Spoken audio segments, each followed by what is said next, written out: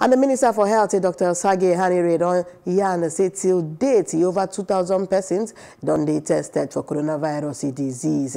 Ehanire wey open this yarn on Wednesday for the Presidential Task Force briefing for COVID-19 inside Abuja and yarn say of the total number of people wey test positive for COVID-19 and say 70% of them na man. And according by him, the age range of those victims na between 30 and 60 years. As of today, the 1st of April 2020, Nigeria has recorded 139 confirmed COVID 19 cases. 82 are in Lagos, 28 in the FCT, 8 in Oyo, 5 in Osun, 4 in Ogun, 3 in Kaduna, 2 each in Bauchi, Edo, and Enugu, and one each in Benue, Ekiti, and River States. A breakdown of the cases shows that 70% are male, while about 30% are female. The age range is mostly between 30 and 60 years, but I must be quick to stress that both men and women of all ages can be infected. Nine persons have been successfully treated and discharged from hospital, and two deaths are the only ones still on record from COVID 19. Both persons had serious underlying ailments, which no doubt aggravated their conditions.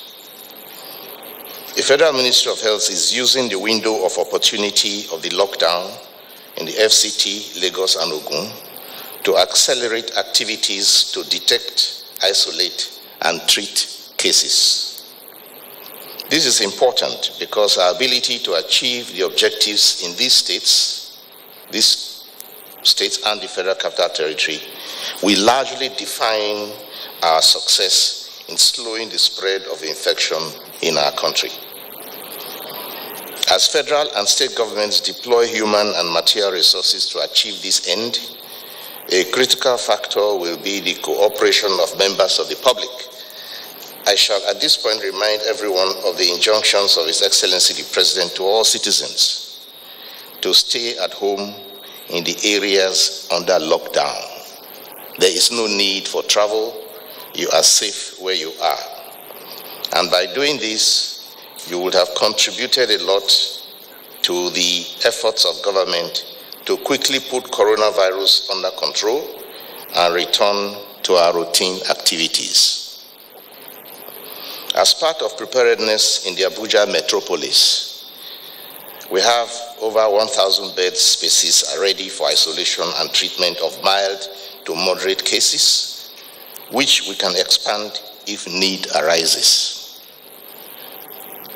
We have ICU units ready in Gwagwalada and National Hospital for those who may have complications, especially those with the underlying illnesses like tuberculosis, HIV, cancer, and also the elderly.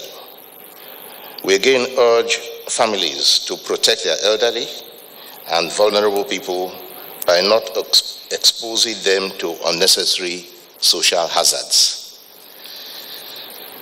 I held a press conference, not a press conference, I held a teleconference earlier today with state commissioners of health, during which many issues were covered to have a better alignment between the federal and state structures.